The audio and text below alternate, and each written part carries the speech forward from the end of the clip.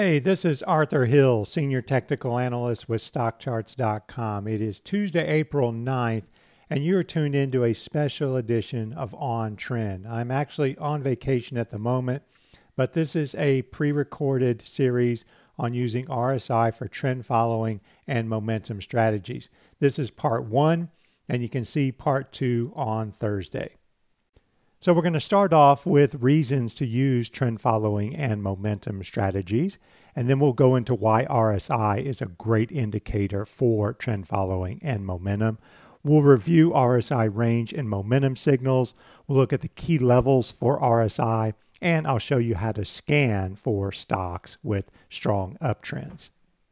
You can also check the Art's Charts commentary for Monday, April 8th, and there you will find links as well as some scan code on these trend following and momentum strategies. So, why would we want to use a trend following strategy? Well, for one thing, trend following has shown a propensity to work over time. Trend following is also known as time series momentum or absolute momentum. It means if something is going up, it tends to keep going up, or if something is going down, it tends to keep going down. A trend in motion stays in motion. Now, keep in mind, we're dealing with probabilities here, okay? The probability is that if there is an uptrend, you have a better chance of making money than if a stock is, say, in a downtrend. Now, don't take my word for it. There have been a number of studies and academic papers supporting trend following. There's a paper by Ian D'Souza and his colleagues, and they note that the existence of time series stock momentum has been a persistent phenomena in the U.S. equity markets throughout the 88 year period since 1927. It doesn't work every month, and maybe there will be periods when it doesn't work, but over time, trend following shows a propensity to work. There's also another paper by Georgopoulou and Wang, The Trend is Your Friend, a very appropriate title, but they looked at time series momentum across equity and commodity markets. And their paper documented that there was a significant time series momentum effect that is consistent and robust across all examined conventional asset classes from 1969 to 2015. So, in charting terms, just using a simple 200 day moving average, this is suggesting this theory of trend following that you have a much better chance of making gains by picking stocks that are above their 200 day moving average and avoiding stocks that are below their 200 day moving average. So, that could be your first filter, so to speak. Of course, when it comes to stocks, there is another factor at work that helps produce winners, and that is momentum, relative momentum. And the theory behind that is that the winners continue to win or outperform. And you can see this picture here. This is, of course, Boston and the New England Patriots. And this picture dates before the Super Bowl in 2019. And you wouldn't bet against the Patriots because they win, and winners have a better chance of continuing to win. And of course, there are numerous academic papers on momentum and momentum effect in the stock market. This is a paper from Jegadeesh and Titman, and it shows that stocks that have outperformed over three to 12 month time horizons continue to outperform during their testing. Now, they updated this paper in 2011, and the updated paper showed that this momentum strategy still worked on U.S. stocks overall but it did suffer a setback in 2009. Nothing is going to be perfect. So, what this study is suggesting is that if you look at momentum and you sort by six month momentum, which would be the rate of change, that these stocks that are up the most here have a much better chance of outperforming the stocks that are down the most. And these are the stocks that are down the most. So, what if we combine trend following and momentum? Well, that's pretty much been done. Gary Antonacci wrote a book, Dual Momentum Investing, a few years ago. And basically, it's looking for stocks that are in uptrends with good momentum. There's a quote from Richard Driehaus. He says, I try to buy stocks that have already had good price moves, that are already making new highs, and that have positive relative strength. And there is where the edge is in the stock market. So, finding stocks in uptrends with good momentum is the edge. And how are we going to find that edge? Well, I think we can do it using RSI. And that is, of course, the Relative Strength Index, which was created by J. Welles Wilder Jr.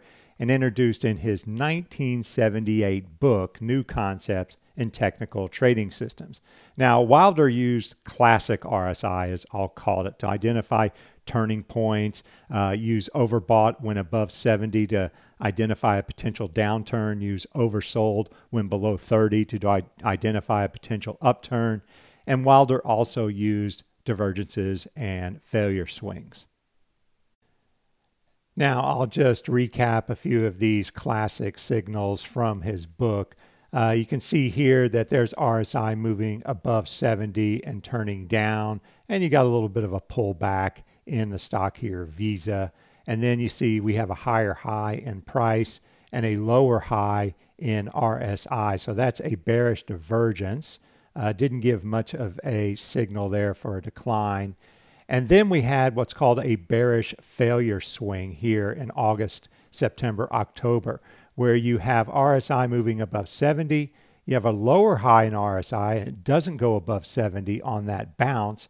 And then to confirm that failure swing, you move below the prior low in RSI there. So that failure swing was confirmed in October. And keep in mind that the failure swing is independent of price. Wilder just looked at RSI to identify a failure swing. Above 70, pullback bounce that does not get above 70, and then a break below the intermittent low. Now, it also happens to be a bearish divergence because you have a higher high in Visa and a lower high in RSI. Here's a chart of Synopsys, and there you can see RSI moving above 70 and a little bit of a pullback in the stock after that. We can also see a bearish divergence with a higher high in the stock and a lower high in RSI and a bearish failure swing because RSI went on to break below that prior low. See, it didn't get above 70 there. It didn't result in much weakness because the stock went to a new high there in August and September. So we got overbought again and came down. We got oversold below 30, and that gave way to a little bit of a bounce. And then we had a big bullish divergence because you had a lower low in the stock price and a higher low in RSI. And you can see that that led to a quite a nice advance in January, February. It was also a bullish failure swing, which is, of course, the opposite of a bearish failure swing. So you have a move below 30 and a bounce, and you have a pullback in RSI, and that pullback holds above 30, and then you break above the intermittent high there for a breakout in RSI. And it is also independent of price. Now, just a word of caution on divergences. They don't work all the time. All right. If you get a strong uptrend, you're going to see bearish divergences and they're not going to work. Same with a strong downtrend. You're going to see bullish divergences that do not work. Also, note that I'm using 14 period RSI and that works different than, say, five period RSI, which is more of a mean reversion indicator. I think 14 period RSI is better for the trend following indicator that I'll get into in a little bit here. But as you can see in this S&P 500 chart, you know, we had a nice bullish divergence, failure swing there in January, February that gave way to a good bounce. But then we had a bearish divergence and not much of a decline sideways. We had another bearish divergence and not much of a decline. And then we had a bearish divergence in December, January, and that didn't lead to much. And so you moved higher actually. And we had another bearish divergence from February to May, and the S&P moved to a new high. So be very careful with the these divergences because the signals are not that great, I don't think. So, why can RSI be used as a trend following and momentum indicator? Well, in order to understand that, we have to break down RSI and understand what makes RSI tick. So, when you break down RSI, it's composed of first the average gain and the average loss. And the average gain is the sum of the gains over 14 days divided by 14 and the average loss is the sum of the losses over 14 days divided by 14. Then you have RS, and that is the average gain divided by the average loss. So right there you can see that when RS is above 1, the average gain is greater than the average loss. That means prices are moving higher. When RS is below 1, the average gain is less than the average loss, and that means prices are moving lower. And when you translate that to RSI, when RSI is above 50, RS is above 1. All right, when RSI is below 50, RS is below 1. So you know when RSI is above 50, prices are moving higher. That's a key level. And when RSI is below 50, prices are moving lower in general. So don't glaze over here. This is just a little sample calculation from a spreadsheet on RSI, and we're using Biogen. And there you can see the first 14 days. There's the average gain. So even though there are nine gains here, you add them all up and you divide by 14 to get the average gain.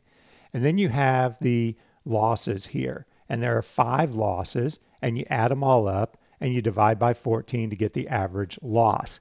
And then you get RS, and you can see RS is well above 1, 2.38, and consequently RSI is above 70. So that shows you that prices are moving higher. RS is above 1, RSI is above 70. So you look at the table here, and you can see that RS is continually above 1 and uh, sometimes above 2, and RSI is well above 50. But then something happened there and you can see that RS moved below 1, and that meant the average gain was less than the average loss. Prices were moving lower. And so RS was continually below 1, and RSI was continually below 50. And you can see here that it got down to the low 30s. So here's a chart example. It's a different time period, but here is Biogen. You can see prices are moving higher and then RSI is mostly above 50. A couple days there, below 50 just a bit, but mostly above 50. And then you had a shift there in February when RSI moved below 50 and remained below 50 with numerous readings below 30. And you can see prices are trending lower during this time period.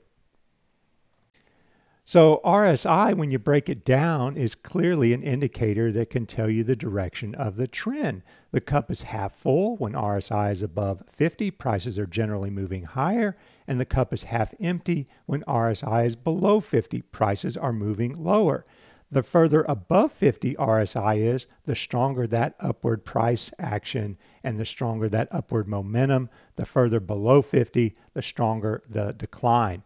So you can think of 50 in RSI as like the 50 yard line in football. You know, a team kicks off and they get the ball at, say, the 20 yard line and they start driving. And as long as they're not past the 50, they're not really a threat. All right, they're not in an uptrend. But once they cross 50, they're starting to get closer to the goal line and they get to the, say, the 30 yard line. Well, now they're in field goal range. And so when they move closer to that goal line, that's a sign of stronger momentum. So think of RSI as like the 50 yard line in football.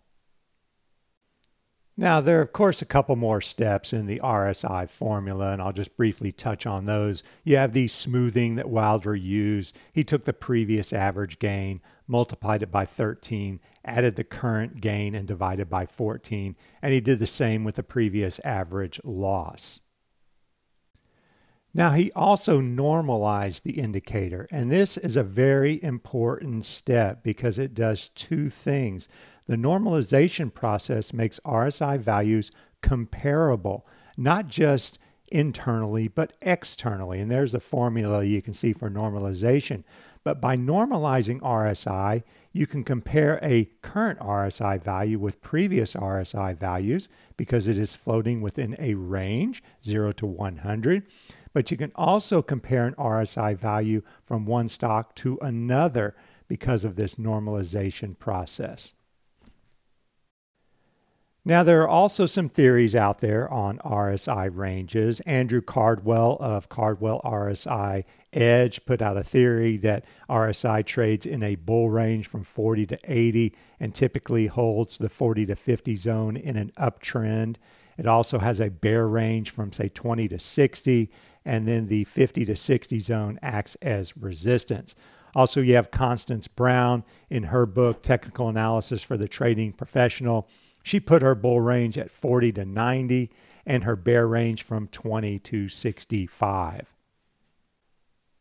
So here's an example of a bull range from 40 to 80. Illumina, the biotech stock. You can see prices are clearly trending higher there from February to September. And RSI is trading in that 40 to 80 range. It doesn't go below 40 until October there. And here's BorgWarner with an example of a bear range for RSI. You can see the stock trending lower there and you can see RSI trades in that 20 to 60 range the entire time. There is a brief, brief excursion above 60, but it didn't hold. But for the most part, you can see that RSI is in the lower part of its 0 to 100 range. Now, there are also some theories out there on RSI being a momentum indicator to buy when it's overbought. There's a there's an article from Active Trader magazine years ago called RSI is Wrong. And it was buying when above 75 and selling when below 25. And this article was quoted in the book by Julie Dahlquist and Charles Kirkpatrick, Technical Analysis, the complete resource for market technicians. And then there's also a presentation from David Cox, a chartered market technician and he showed how you can use a surge from below 30 to above 70 to show a sudden shift in the momentum dynamics that is bullish. So here's an example that Cox used in his presentation. It is Apple, Apple Computer, Apple Incorporated. And you can see that Apple was trending lower here into April, and RSI was consistently moving below 30 in a downtrend, clearly.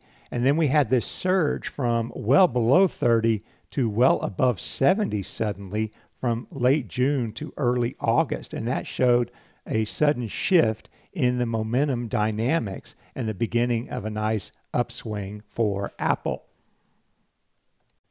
Here's another one that I found. It is Eversource Energy, and you can see it was trending down in the first part of 2018, and RSI was moving below 30.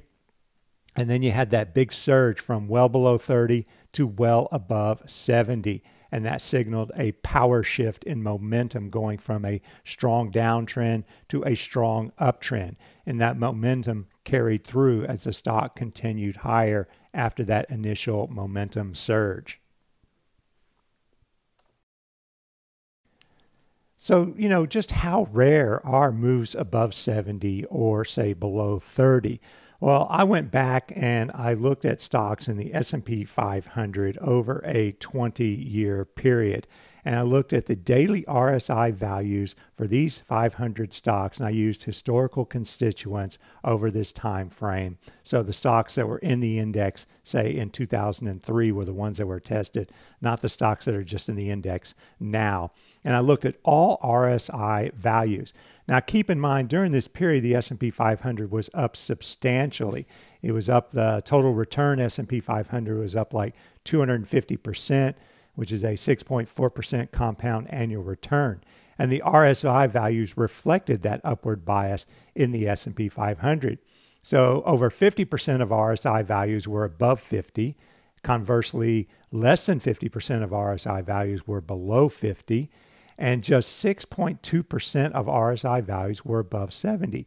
So if you're picking stocks that have the ability to get above 70 for their 14 period RSI, they're, they're in the elite category. And on the downside, just 3.5% of RSI values were below 30. And here's what this looks like in an Excel table here. You can see a bit of a bell curve shape to it. And there you can see 56.7% of all the RSI values were above 50, a clear upward bias during this 20 year period, and 43.3% were below. And then you look at corresponding levels RSI 45, 28% were below 45%, whereas conversely, 40.9% were above 55, and the same with 40 and 60. And then you get to that 70 level, 6.2% above 70 and just 3.5% below 30. So, what do we know so far? Well, we know that prices are generally moving higher when RSI is above 50. And the further above 50 RSI is, the stronger the uptrend. Furthermore, we know that RSI values above 70 are relatively rare. And when you get above 70, that is showing strong momentum, which is something we want to pay attention to.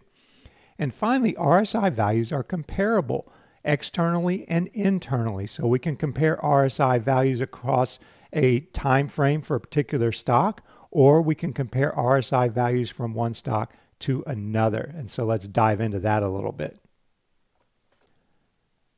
So here's a chart for Abbott Laboratories, ABT, and we can see a nice uptrend there from May until February. And during this uptrend, RSI is moving above 70 on a regular basis, and not once does it move below 30 or become oversold. Now, we do see some spikes below 40, so that RSI bull range, it's not a perfect indicator, but it's just something that can give us an idea of the general trend.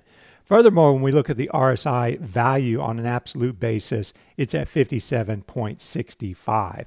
And now let's compare that to another stock.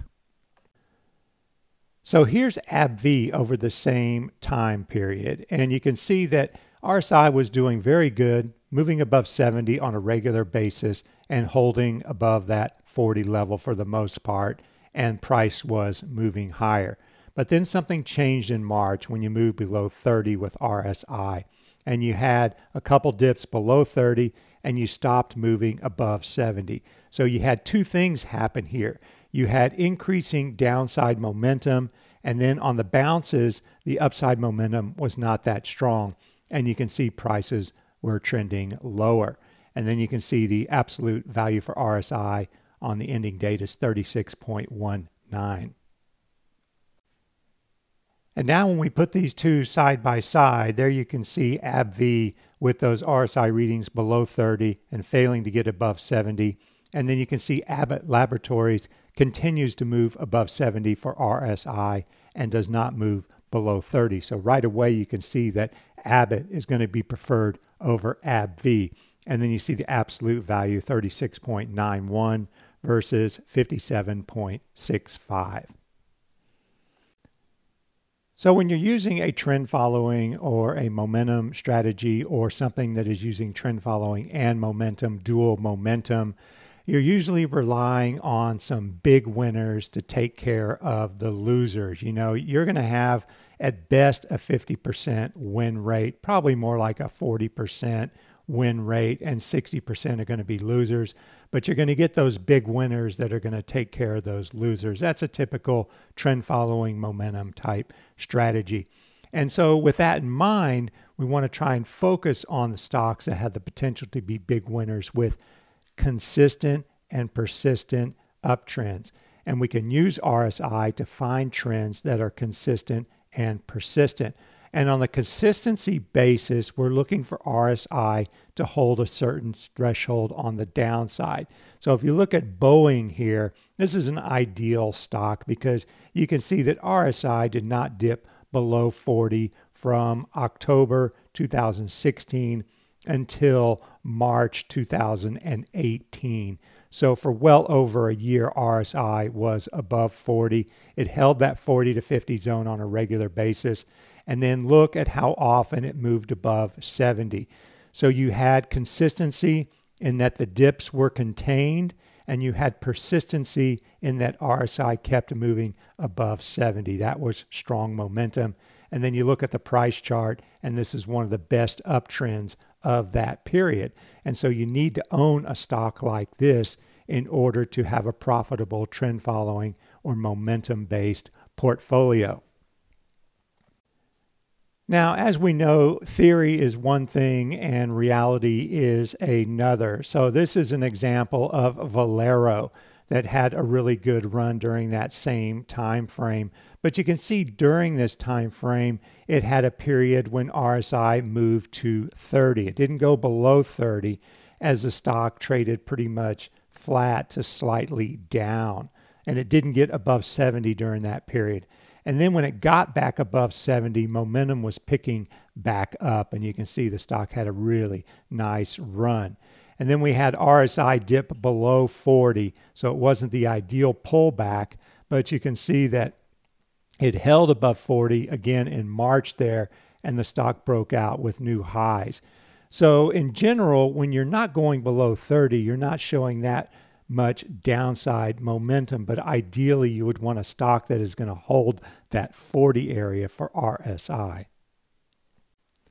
Here's another one, MasterCard. This is another great stable uptrend. It was consistent. You can see RSI dip below 40 a couple of times, but for the most part, held that 40 to 50 zone. So the trend was consistent in that the pullbacks were contained and then it was persistent because RSI kept moving above 70 on a regular basis. And look at that trend. We need stocks like this in our portfolios in order to have a net gain at the end of the month or quarter or year.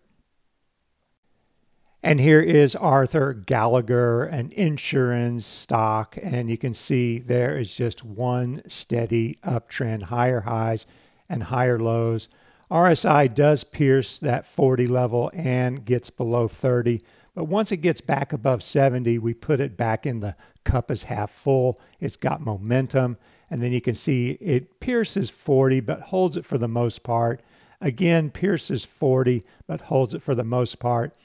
So keep in mind, though, even if it's piercing 40 and getting down to the 35 area, as long as you have these consistent moves above 70 on the upside and you're making higher highs, because when you're moving above 70 with RSI, you're usually making higher highs on the price chart, and that's what we want.